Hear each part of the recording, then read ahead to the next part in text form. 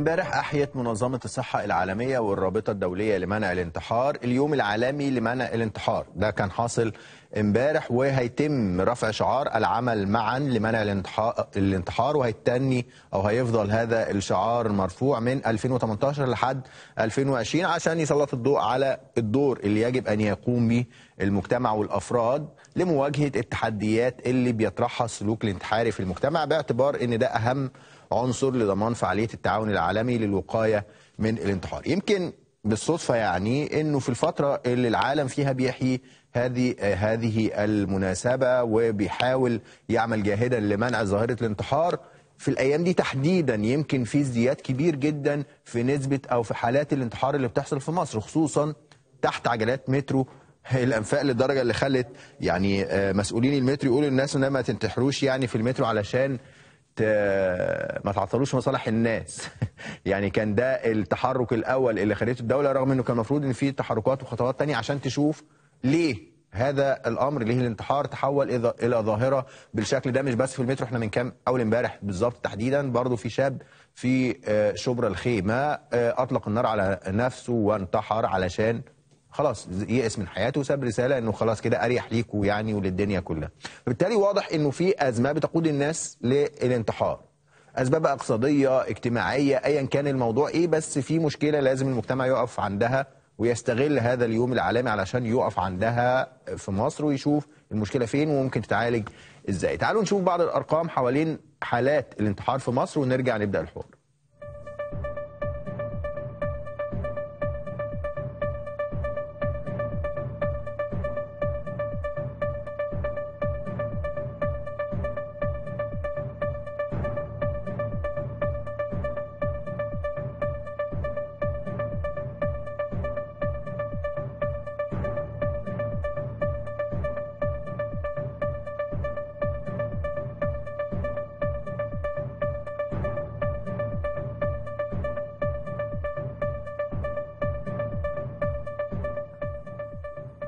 خلونا نرحب عبر خدمة سكايب الدكتور إيهاب الخراط استشاري الطب النفسي. يا دكتور برحب بيك معايا في بتوقيت مصر.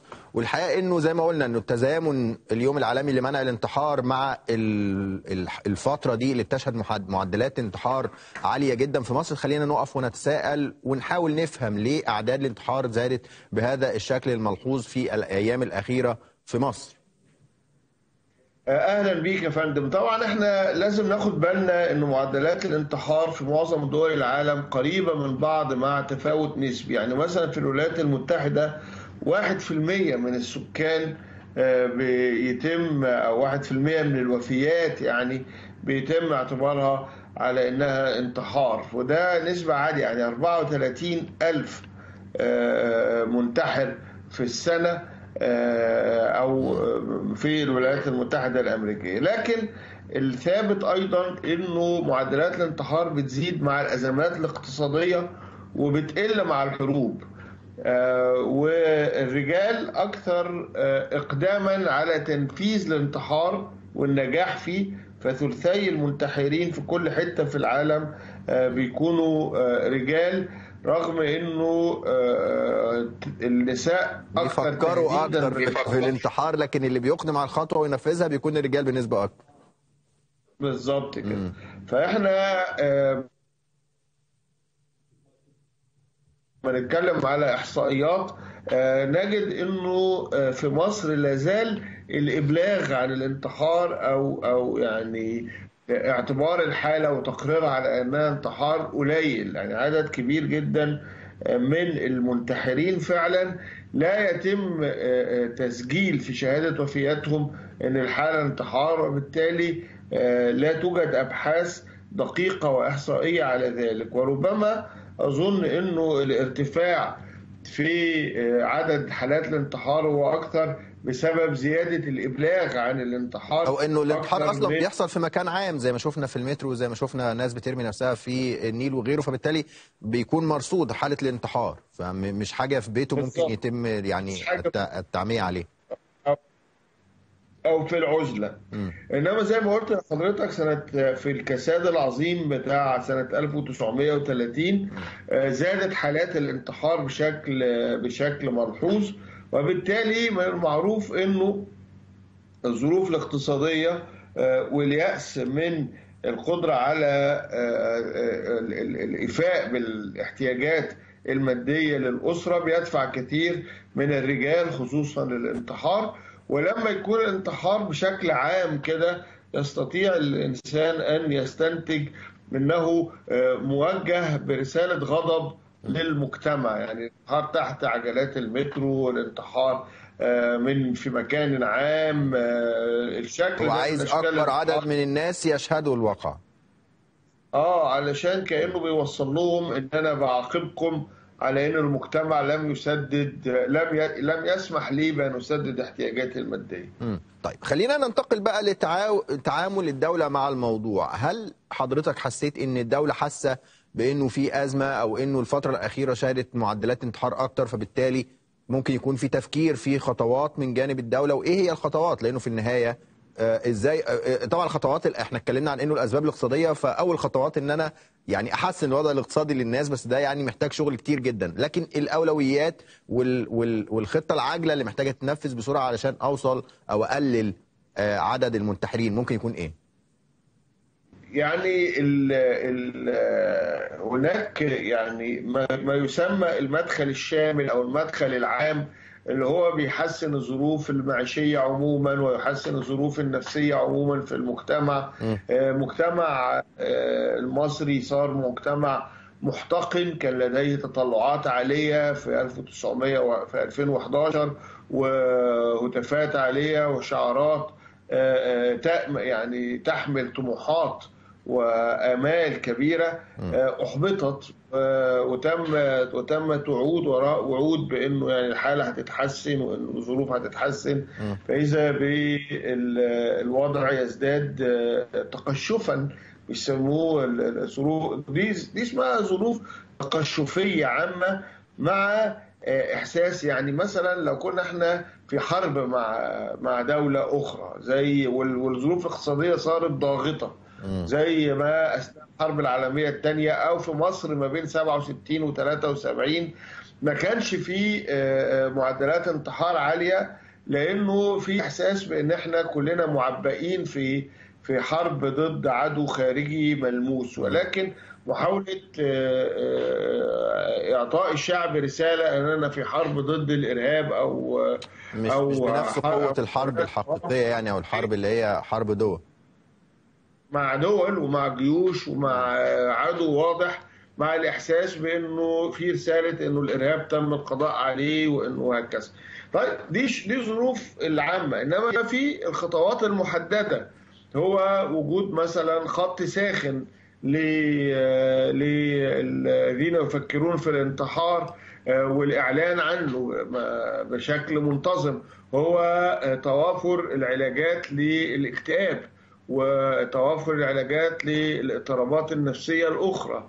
هو وجود مساحة لكسر العزلة. طبعا العزلة والانسحاب والاكتئاب ووجود ضلالات أي أفكار مرضية ثابتة لا تتغير بالواقع أو بالمنطق. كلها أشياء ممكن تؤدي إلى الانتحار وجود تهيج بعض أنواع اضطرابات الشخصية فطرق التعامل النفسي وما يسمى الوقاية النفسية وبناء الاستردادية بناء مهارات الحياة بناء مجتمعات صغيرة مترابطة ليس فيها انتهاك أو إساءة لكن فيها دعم ليس فيها تنافس شديد لكن فيها مساندة واحتواء.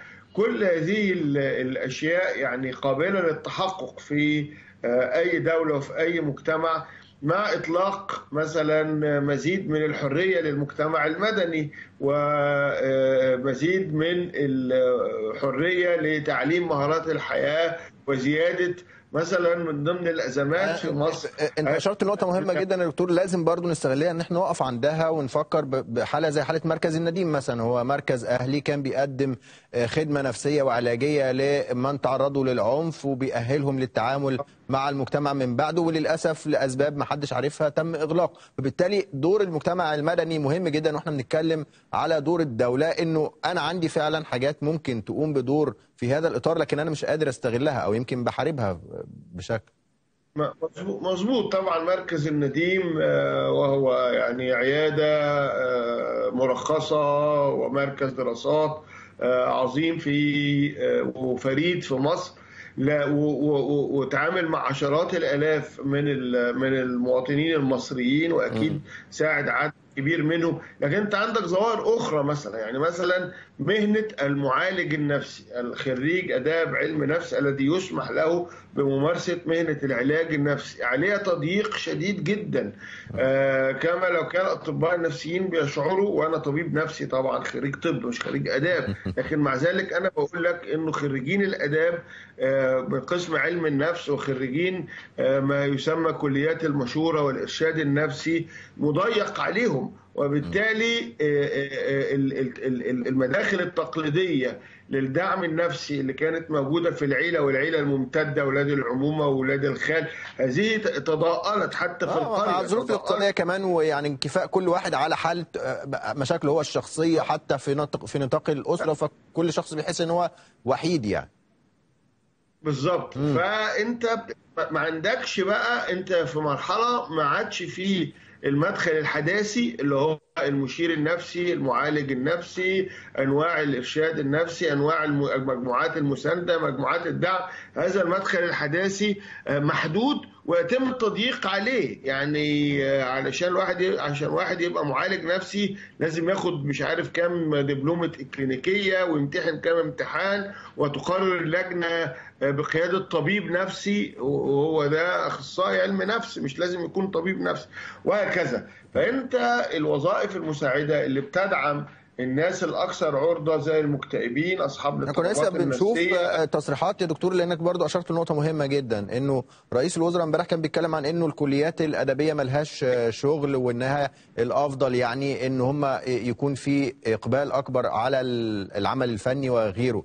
رغم إنه حابب تشير ل... يعني قسم مهم جدا في كلية الاداب هو قسم علم النفس. أنا ممكن أستغل طلابه في إن أنا إنهم يقدموا هذه الخدمة في حالة لو أصلحت المنظومة. فبالتالي أنا عندي قدرات مهدرة أنا قادر إن أنا أستغلها. مثلا وفي مثلا وظائف مهمة دلوقتي هناك ما يسمى خدمات الكيررز أو مقدمي العناية الصحية مثلا المتقدمين في السن أو للأطفال أو لكذا. هذه هذا النوع من الخدمات أيضا مضيق عليه يعني تراخيصه وتصاريحه إلى آخره محدودة. وبالتالي إحنا بنفقد الأخصائي الاجتماعي الأخصائي الاجتماعي لا يقوم بدوره أو لا يقوم بربع الدور الذي من الممكن أن يقوم به في مواجهة أزمات الأزمات النفسية مثلا لطلاب المدارس في النوادي في الأحياء في في مواجهة حالات العنف حالات التحرش. يعني عدد كبير من الذين يخدمون على الانتحار كانوا قد تعرضوا لاعتداء جنسي أو بدني أو نفسي في طفولتهم. أو زي ما حضرتك أشرت تعرضوا لتعذيب أو تعرضوا لمعاملة قاسية وهكذا. الأخصائي الاجتماعي له دور كبير في الوصول لهؤلاء ولتعديل لحمايتهم مثلا من الاعتداء وهكذا. هذا الدور غير مفعل. طب ده والله يعني حضرتك أشرت لكام نقطة فعلا مهمين جدا. أنت اتكلمت على دور الأخصائي حتى الاجتماعي في المدرسة اللي إحنا بتعتبر وظيفة يعني لما يكون الشخص موجود أو المدرس ده موجود أو الأخصائي نفسه موجود يمكن الناس بتقعد خمس ست سنين طول فترة المدرسة ما تعرفش أصلا هو بيعمل إيه. تفعيل دور الأخصائي المدرسي الأخصائي النفسي أو الأخصائي الاجتماعي في المدرسة ده مهم. استخدام أو استغلال خريجي كليه الآداب علم النفس مهم. ده كله حاجات أنا ممكن أستخدمها بحيث إن أنا آخد وقت يعني مع الوقت أبدأ أخلي الناس تعرف تتعامل إزاي مع مشاكلها النفسية. وده السؤال بقى المهم يا دكتور. المصريين عندهم مشكلة دايما في تقبل فكرة العلاج النفسي أو الإدراك إنه إنه النفس دي يعني ممكن تبقى عندها مشاكل زي القلب وزي الرئة وزي أي عضو في جسم الإنسان ممكن واحد يبقى يكون عنده مشاكل نفسية ومش عيب انه يروح لدكتور نفسي. لكن يمكن النسبة من المصريين اللي مدركين هذه الحقيقة واللي بيتعاملوا مع أطباء نفسيين قليلة جدا جدا جدا جدا مجتمعيا حتى. يعني طبعا مثلا يكفي إن أنا أقول لحضرتك إنه التخصصات الطبية في أمريكا أول تخصص البطنة ثاني تخصص الجراحة ثالث تخصص الطب النفسي. فيعني عليه الطلب يعني. بمئات عددهم. بينما في مصر آه، حصلت طفرة حقيقية.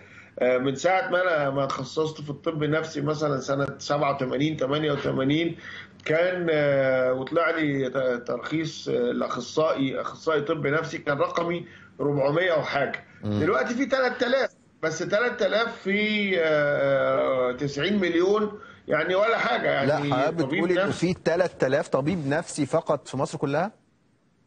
آه طبعا 3000 وده يعني يعتبر آه، قفزة من اللي إحنا كنا فيه يعني. ف 3000 على 3000 90 مليون يعني. يعني ده رقم ده ده ده, ده لوحده يعني ممكن اللي نخرج بيه من الفقره هو الرقم ده. في مصر في 3000 طبيب نفسي بيعالج 90 مل... آه، 100 مليون مصري.